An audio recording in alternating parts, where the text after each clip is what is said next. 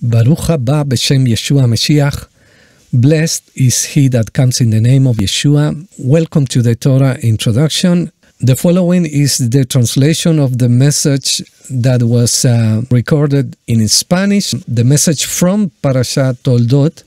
We are going to read about uh, the history of Yaakov and his brother and Yitzhak and Rivka, his wife. So we welcome Yeshua to be our teacher, and I pray you will receive wisdom from this message and that healing will be manifest and deliverance as we know the truth and the truth set us free. Because if uh, Yeshua set us free, we are free indeed. Shalom Aleichem. To the 12 tribes that are in the dispersion and the diaspora, greetings in the name of Yeshua. A holy embrace to all the disciples of Yeshua and the whole remnant of Israel that is in the nations, and to all the sons of Elohim, and to all men of goodwill. From here in Jerusalem, the city of peace, Ir Shalom, Yerushalayim. Ir is city, and Shalom is peace. Yir Shalom, Yerushalayim, the city of peace. Of course, there is no peace without the Prince of Peace. Sar Shalom is Prince of Peace. Sar is Prince. Today we use that as minister, and Shalom is peace. Yeshua is the Sar Shalom. He is the Sar Shalom as it is said in Isaiah 9 6, the Prince of Peace. Genesis chapter 25, verse 19 begins the portion that is called Toldot. Toldot comes from verse 19 where it says, These are the descendants Yitzhak, son of Abraham. And that's where it continues. We start with a prayer. We call on your precious name, Prince of Peace, wonderful counselor, mighty God, everlasting Father, the teacher, the rabbi, the leader, our leader, Aviad. We give you many thanks, Yeshua, for giving us your scriptures, this wonderful gift, and we give you thanks even more for your Holy Spirit that leads you to all truth and announces the things that are to come, because without your Spirit, we cannot, Yeshua. We give you thanks for your generosity and having so much care for us, for giving us your scriptures, for speaking to us through the scriptures, and we invite you to come as our teacher because you are the one that comes to teach us of all the mysteries that are in the scriptures, about the prophecies that are in the scriptures, the stories your wonderful word that is there from the story of salvation, of your power, of your mercy that has guided all our ancestors to you to walk in your ways. And we ask you for forgiveness if they didn't do it in perfection, if they rebelled against you. We proclaim that we are in complete disagreement with all rebellion that was in our forefathers and any rebellion that can be in us. And we decide to follow you in obedience. And we ask you for all the grace to obey you. Father, that this word, this portion of the Torah, of these scriptures, and the work and the flow of the river that would flow from your throne will enter into the hearts of all the brethren that are in the uttermost parts of the world, in the farthest countries that can speak English, that they will hear this. And we ask you that your river will reach them, wash them, purify them, renew them, revive them, refresh them with something new that you are giving at this hour. And we ask it for in in the name of Yeshua the Messiah. Thank you, Lord we give you. Now I read from Genesis chapter 25, verse 19.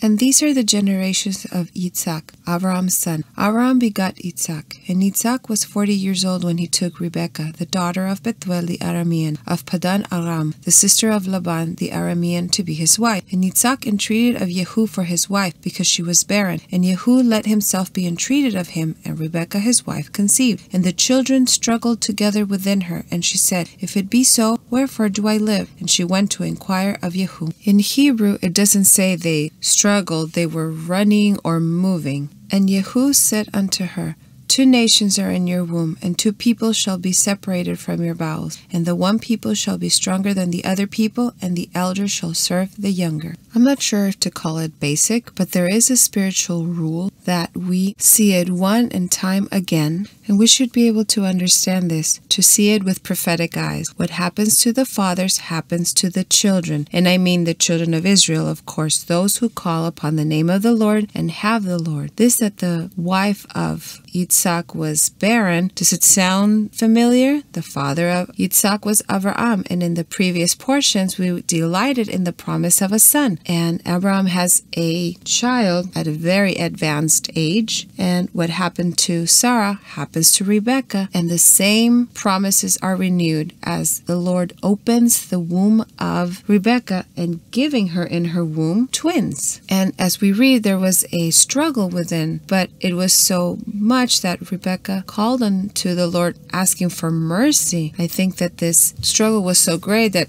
she said, If this is like so, why do I live? In verse 22. So the Lord, in His mercy, says, Look, there are two peoples in your womb. And here the Lord declares, This is word of the Lord. Verse 23 is not a story, it is word of the Lord. And Yehu answered her, Two nations are in your womb, and two people shall be separated from your vows.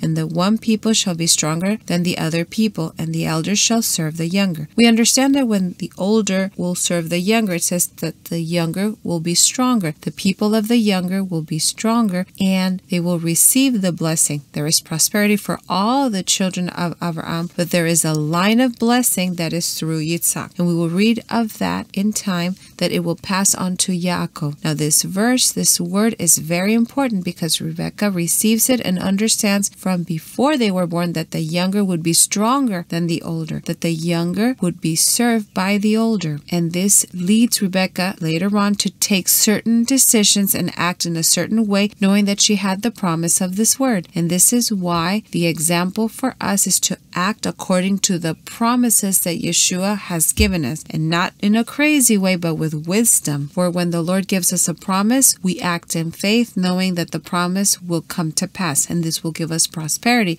that it will prosper our ways when we do it in obedience, so that the will of the Lord will come to pass. Verse 24 and when her days to be delivered were fulfilled, behold, there were twins in her womb, and the first came forth ruddy, all over like a hairy mantle. In the Hebrew, it doesn't say ruddy, it says red haired. And they called his name Esau, and in Hebrew is Esav. And after that came forth his brother, and his hand had hold on Esau's heel, and his name was called Yaakov. And Yitzhak was sixty years old when she wore them. We're going to break off with certain traditions and collective culture about Yaakov. Yaakov means hand on the heel, but it also means the following one. There's nothing negative or bad about his name, especially when it means the one that follows, because we are called to follow Yeshua. Yaakov Yeshua Mashiach.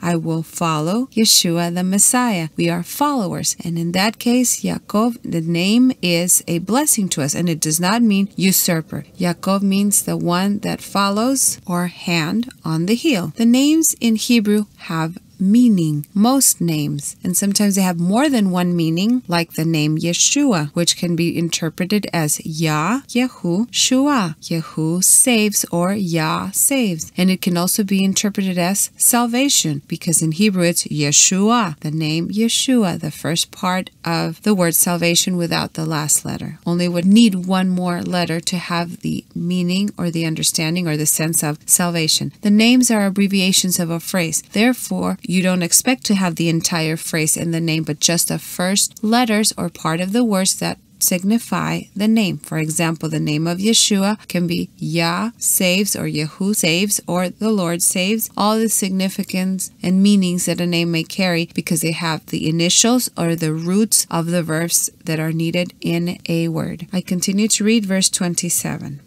And the boys grew, and Esau was a cunning hunter, a man of the field, and Yaakov was a quiet man dwelling in tents. I want to reveal to you, brethren, and with this help to establish in the hearts all the revelation of who really was Yaakov, and to expose the lie that we have been culturally given, especially in the nations, about who Yaakov was. Yaakov says in verse 27 that he was Ishtam, Yoshev Ohalim. Let me translate this literally from the Hebrew. And Yaakov innocent man or perfect dweller of tents. The word tam is the same word that is used for Yeshua when we speak of the innocent lamb, the perfect lamb, Haseh Hatamim in Hebrew, the perfect lamb, the innocent lamb that was Yeshua. For the word tam is used throughout scripture to define specifically the patriarchs and also one of the things that Elohim requires of us, especially expressed in the Psalms that we would be tam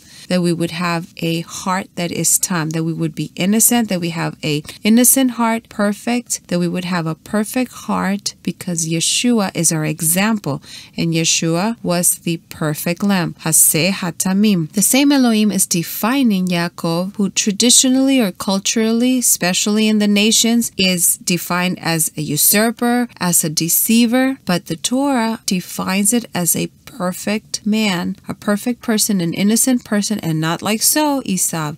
And with this revelation, let's enter in and seek that perfect heart and innocent that Yeshua had, so that in us will rise a river of innocence, of perfection, that we might be pleasurable to our Elohim without spot or wrinkle to enter into the marriage supper of the Lamb. I continue reading. Verse 28. Now Yitzhak loved Esau because he did eat of his venison, and Rebekah loved Jacob. And Yaakov sawed pottage, cooked a stew. And Esau came in from the field, and he was faint. And Esau said to Yaakov, Let me swallow, I pray you, some of this red pottage, for I am faint. Therefore was his name called Edom. And Yaakov said, Sell me first your birthright. And Esau said, Behold, I'm at a point to die. What profit shall the birthright do to me? And Yaakov said, Swear to me first. And he swore unto him, and he sold his birthright unto Yaakov. And Yaakov gave Esau bread and pottage of lentils, and he did eat and drink, and rose up and went his way. So Esau despised his birthright. Well, here we're not going to talk about any deception because clearly the scripture says that Esau despised his birthright. This has happened throughout millennia. There has always been an animosity against Yaakov, against the Jews, and this has fortified the thought that Yaakov was a deceiver, a usurper, and that that type of person,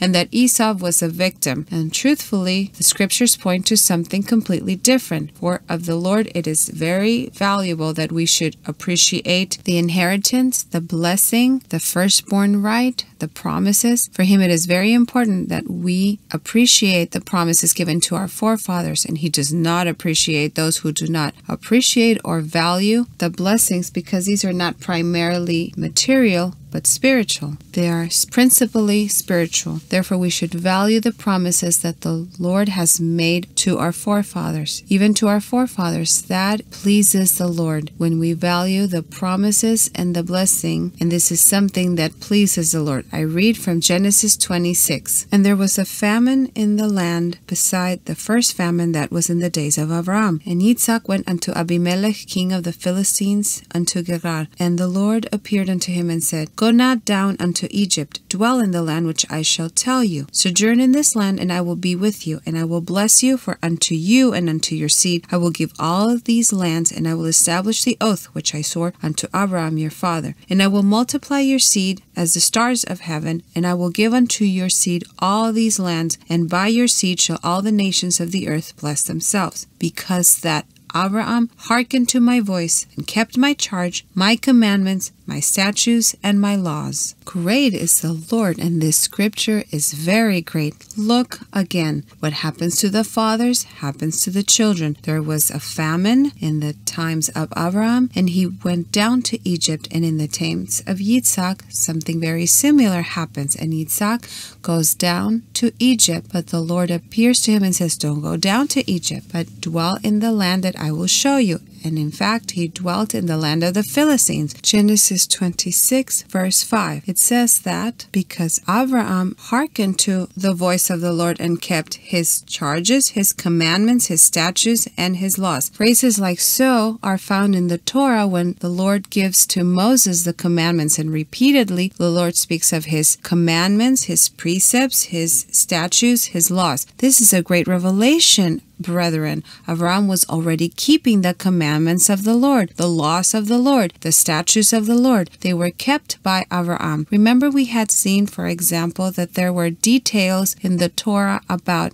how to keep the commandments of the Lord and to understand about impurity, about unclean animals, about clean animals. Since the time of the Ark of Noah, there is a manifestation of the knowledge of what animals are clean and impure. And he tells Noah to place in the ark seven pairs of clean animals and only one pair of unclean animals. So it begins to manifest at some point and in some form that there was a previous knowledge of the precepts and the commandments of the Lord. And these are words of the Lord. These are not, this is not a story. It says that he heard the voice of the Lord and he kept his charge, his commandments, his statutes, his laws, his precepts. It doesn't just talk about commandments. In fact, the word is very extensive. His precepts, commandments, statutes, and laws. He had an understanding of the commandments of the Lord. This is the Torah. Abraham had knowledge of the Torah and he respected the commandments of the Lord. This is what the scripture is saying. Wonderful, isn't it? The Torah was not born with Moses, for it is eternal. For Yeshua is the Torah and he is eternal. He has no beginning and no end. Do you remember in the book of Zechariah, in chapter 14, it speaks of the celebration of tabernacles. Verse 16 And it shall come to pass that every one that is left of all the nations that came against Jerusalem shall go up from year to year to worship the King, Yehu of hosts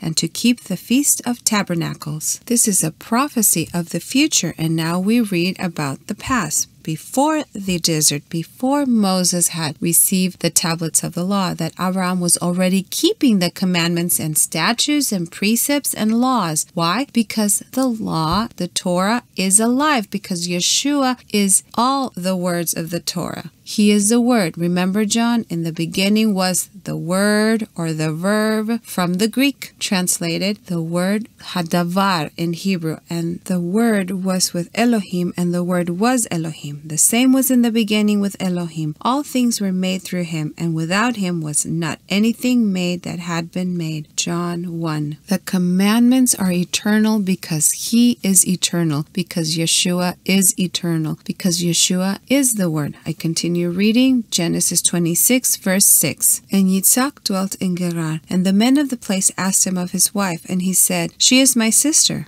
for he feared to say, My wife, lest the men of the place should kill me for Rivka, Rebecca, because she is fair to look upon. Look again. What happens to the fathers happens to the children. Sarah was of beautiful semblance, and Rebecca was also of beautiful semblance, fair to look upon. And Avram said more than once that Sarah was his sister, and Yitzhak says the same thing. This is a prophecy because this is a prophetic word. Therefore, it is a prophecy, and what happens to the fathers happens to the children. Verse 8 And it came to pass when he had been there a long time that Abimelech king of the Philistines looked out at the window and saw, and behold, Yitzhak was sporting, caressing Rebekah his wife. And Abimelech called Yitzhak and said, Behold, of surety she is your wife. How have you said, She is my sister? And Yitzhak said unto him, because I said, Lest I die because of her. And Abimelech said, What is this that you have done unto us? One of the people might easily have lain with your wife, and you would have brought guiltiness upon us. And Abimelech charged all the people, saying, He that touches this man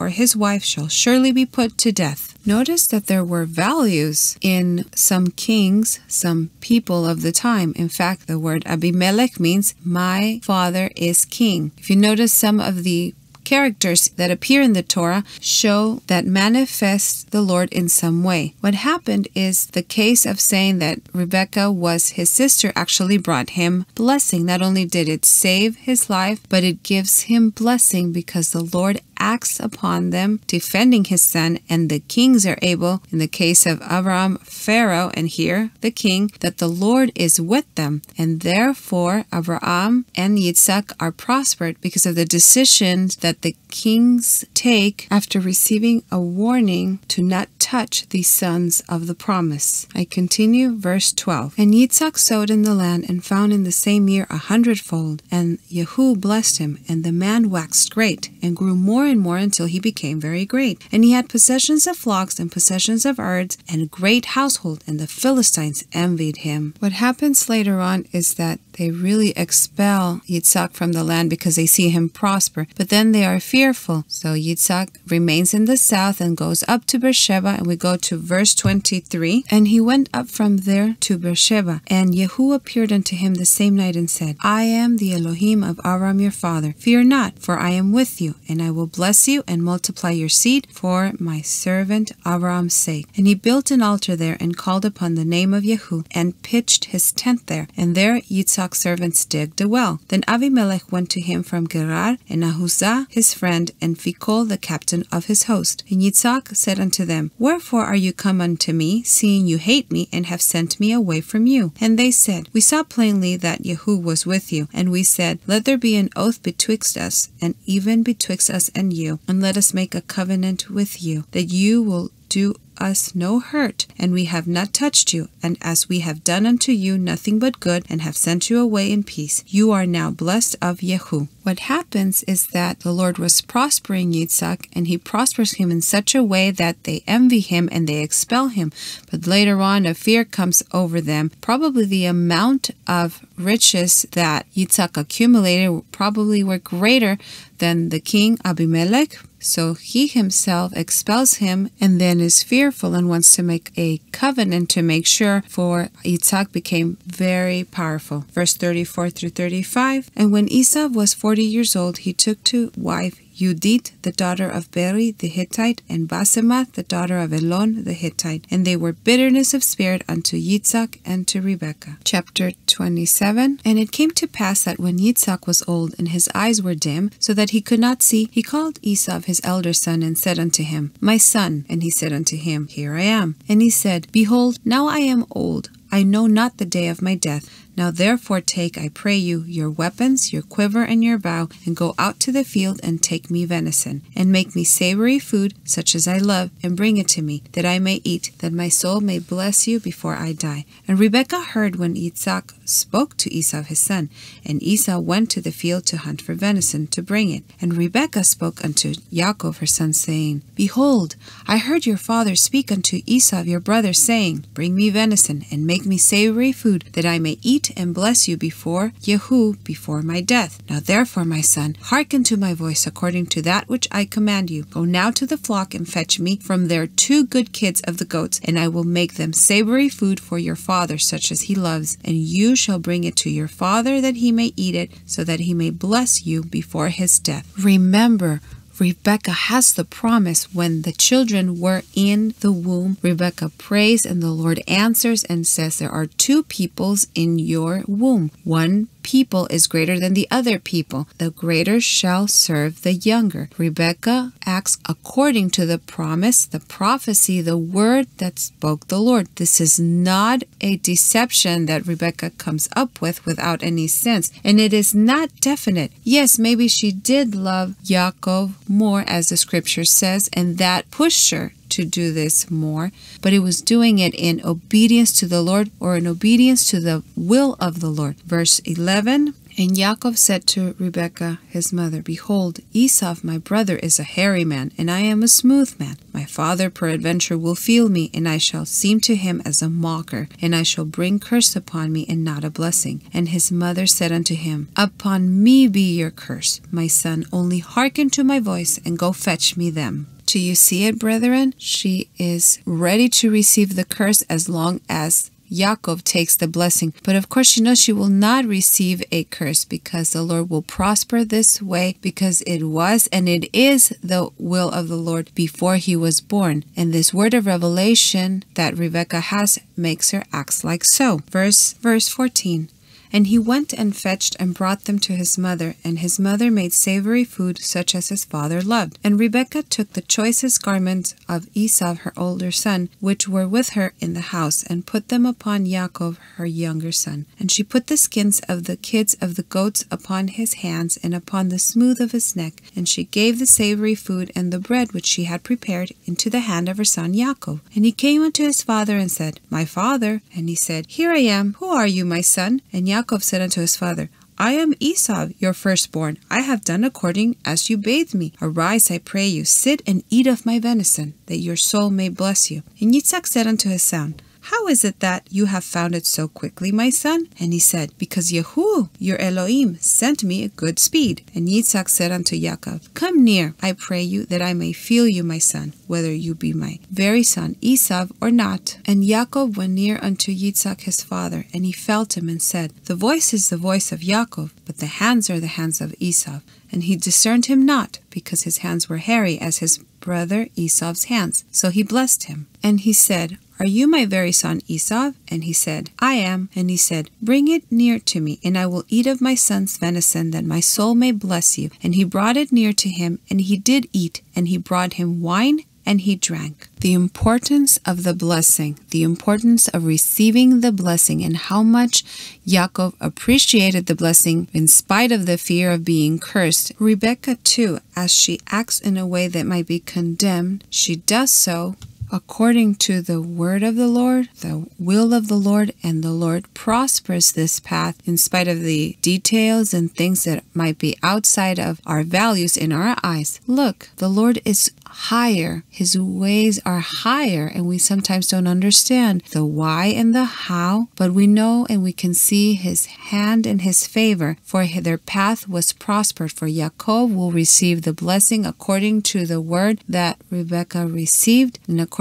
to the way that Rebekah and Yaakov acted. Verse 26 and his father Yitzhak said unto him, Come near now and kiss me, my son. And he came near and kissed him. And he smelled the smell of his raiment and blessed him and said, See, the smell of my son is as the smell of the field which Yehu has blessed. So Elohim give you of the dew of heaven and of the fat places of the earth and plenty of corn and wine. Let the peoples serve you and nations bow down to you. Be Lord over your brethren and let your mother's sons bow down to you. Cursed be everyone that curses you and blessed be every everyone that blesses you. This blessing is not just man's blessing, but it is a blessing that comes from the will of the Lord. Yitzhak asked Yaakov to prepare this pottage in order to bless him, and he does it in obedience to the Spirit. And in fact, the blessing that comes forth wouldn't be anything had it not been an inspired blessing, for it is the will of the Lord. And in fact, here the people act with some kind of will, but what's really happening is something that the Lord has planned. And the words that come forth out of Yitzhak's mouth, they're more than just words, but they are prophecies and blessings that come from the Most High. So the discernment of how and when and what to say, it's like doing everything that comes to hand. For the Lord is with Yaakov, and when he does so, he does it in obedience of the will of the Lord. And what happens in verse 30, and it came to pass as soon as Yitzhak had made an end of blessing Yaakov, and Yaakov was yet scarce gone out of the presence of Yitzhak his father, that Esau his brother came in from his hunting. And he also made savory food, and brought it unto his father,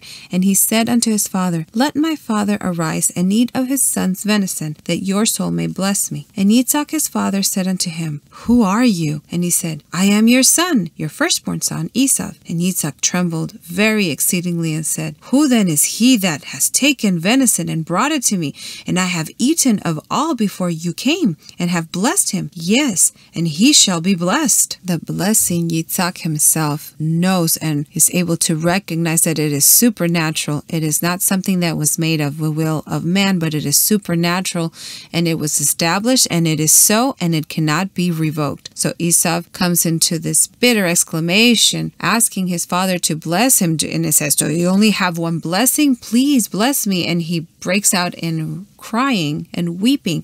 And at the end, Yitzhak, his father, blesses him. And also, when I read the blessing, I want you to have your eyes open to understand that it is something that comes from the Lord Himself. Understand? Because Yitzhak recognizes that what he proclaimed, what he proclaimed in the beginning was irrevocable. But here, the spirit of prophecy begins to operate again, and Yitzhak for Esau his son. Verse 39 And Yitzhak his father answered and said unto him, Behold, of the fat places of the earth shall be your dwelling, and of the dew of heaven from above. And by your sword shall you live, and you shall serve your brother. And it shall come to pass when you shall break loose that you shall shake his yoke from off your neck. This is more a prophecy that he makes. Of course, it is a blessing as well. It is a proclamation over him. And it was done inspired by the Holy Spirit, the Ruach HaKodesh.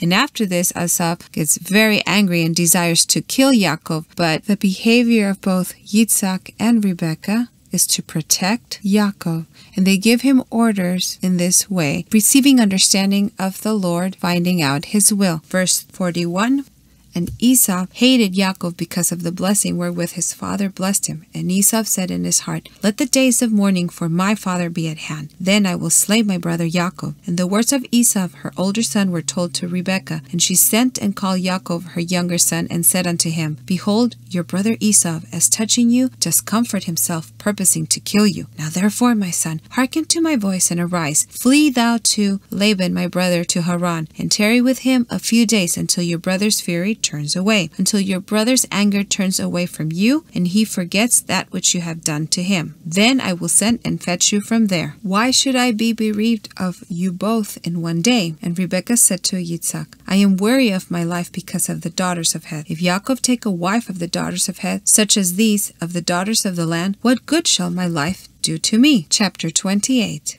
and Yitzhak called Yaakov and blessed him, and charged him, and said unto him, You shall not take a wife of the daughters of Canaan. Arise, Go to Padan Aram to the house of Bethuel, your mother's father, and take you a wife from there of the daughters of Laban, your mother's brother. And Elohim Almighty bless you, and make you fruitful, and multiply you, that you may be a congregation of peoples, and give you the blessing of Abraham to you and to your seed with you, that you may inherit the land of your sojournings which Elohim gave unto Abraham. Can you see the heart of Yitzhak? It is with Yaakov, and he understands the will of the Lord and acts according to it. So Yaakov obeys the voice of his father and his mother and goes to the land of Padan Aram. Verse 5 And Yitzhak sent away Yaakov and he went to Padan Aram unto Laban, son of Bethuel the Aramean, the brother of Rebekah, Yaakov and Esau's mother. Now Esau saw that Yitzhak had blessed Yaakov and sent him away to Padan Aram to take him a wife from there, and that as he blessed him, he gave him a charge, saying, You shall not take a wife of the daughters of Canaan. And that Yaakov hearkened to his father and his mother, and was gone to Padan Aram. And Esau saw that the daughters of Canaan pleased not Isaac his father. So Esau went unto Ishmael and took unto the wives that he had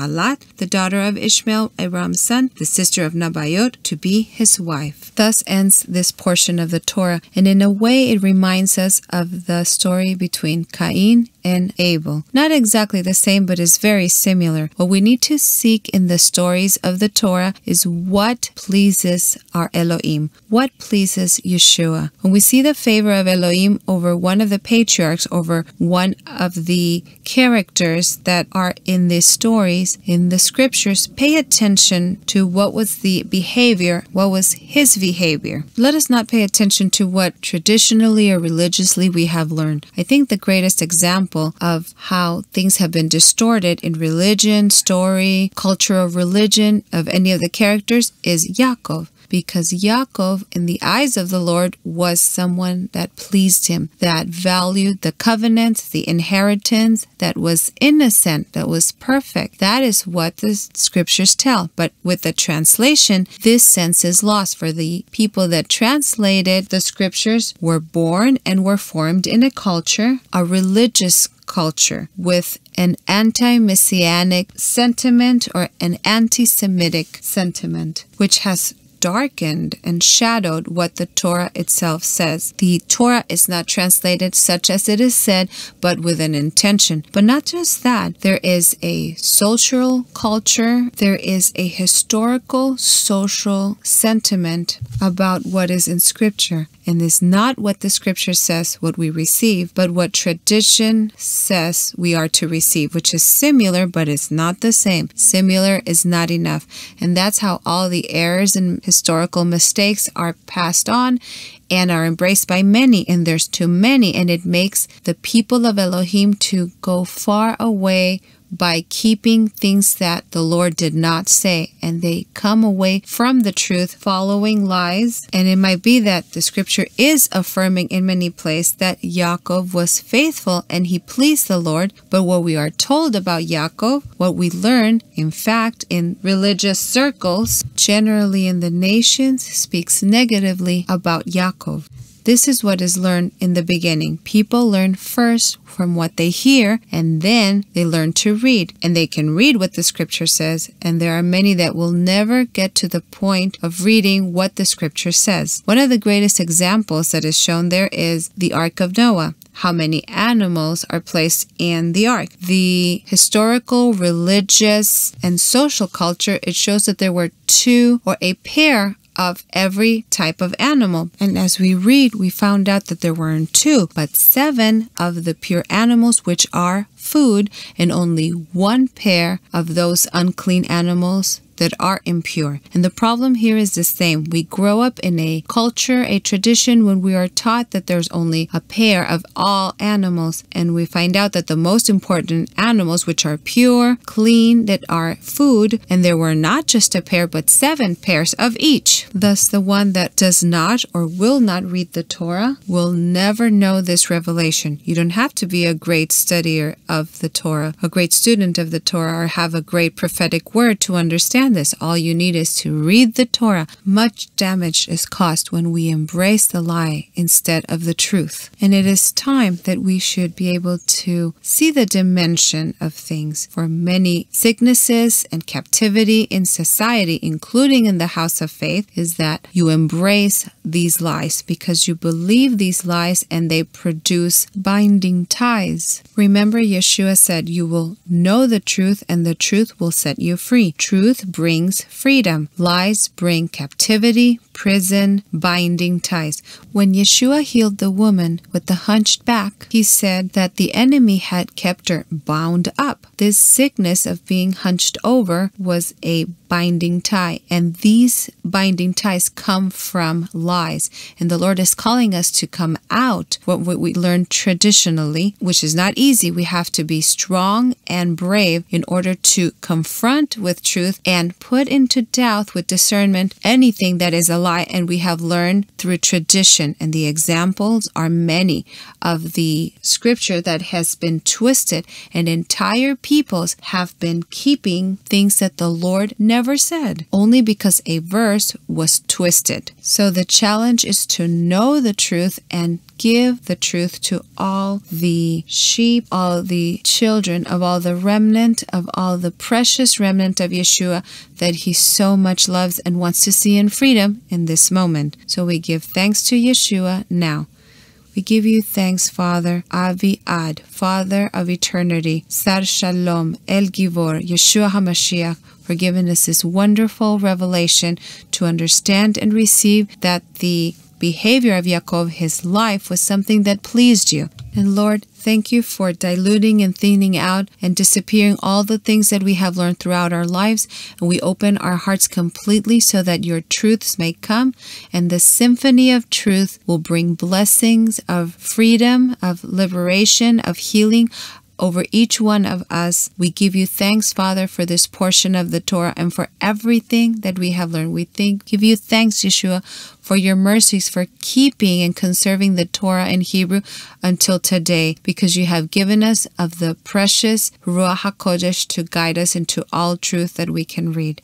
We also give you thanks that Rivka and Yaakov worked in a way that was obedient to your will which has brought us blessings to today. We give you thanks for those blessings that we receive today for the obedience of our ancestors. We give you thanks whether we are the house of Israel or the house of Yehuda. To you be the kavod and the tiferet because you are generous with your people, because you faithfully bless throughout your covenants your people. And thus we exalt you, Yeshua.